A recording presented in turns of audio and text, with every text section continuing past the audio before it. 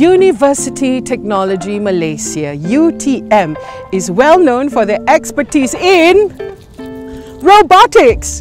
UTM produces robots in many shapes and sizes depending on needs. UTM is also known for championing many robot competitions such as the Robocon at the international level. From air to land and now water. Yes, robots are also needed in the water. They can be used for cleaning, collecting water samples in hazardous and cluttered environments such as during floods or when monitoring ocean pollution. Let's hear it from the aquatic robot expert, Dr. Atif.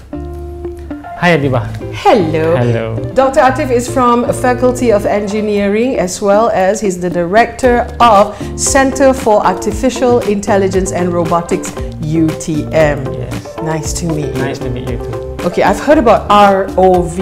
Yeah. What is ROV? Uh, ROV stands for Remotely Operated Vehicle and we use this remotely operated vehicle underwater to use it uh, in the function that you have just explained earlier and our main focus in our lab we use this ROV for cleaning functions and also for inspection functions. Aha. We have developed this ROV since 2014 and uh, until now it's around six years of development. So we started with phase one until phase three until now. So hopefully we can, we can go for the commercialization activity later on. You're going to show me, right? Yeah, we're going to show you later. Let's go. Okay, thank you. So now we want to go to inspect this robot, right? So we can go Yes. forward. Uh-huh. Okay, so we can see now that robot is doing something. Mm-hmm. And we can go down a little bit. So going down, it will be going down. So we can see now. Now this uh, we are facing each other. Yeah, so we mm. can see what the ROV PLECO is doing. Okay, you can try. Mm. So like a remote control car. So that's why we call remotely operated vehicle. So for example, if any emergency search and rescue operation, Yes. so then we can use um, the robot um, together with the uh, Bomba, for example, Uh-uh. and we can uh, uh, hopefully uh, utilize the systems uh, to do the inspection faster. So how low can this thing go? Does it need to be... Yeah, we can go that now. I think this is around five uh, five meter. The span can be expanded until 100 meter to 300 meter. Oh, wow. And it can go down until 100 meter.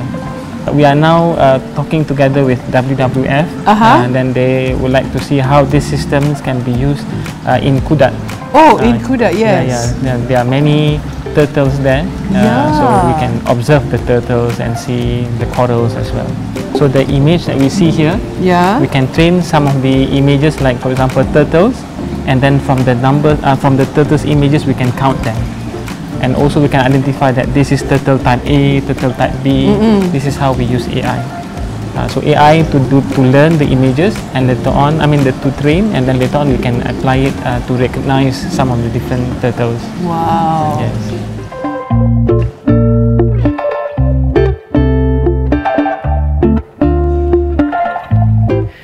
What you have seen are just a few robots invented in UTM. The fact is that UTM has produced many other types of robots, including autonomous vehicles, factories automation, virtual robots, precision engineering, and many more.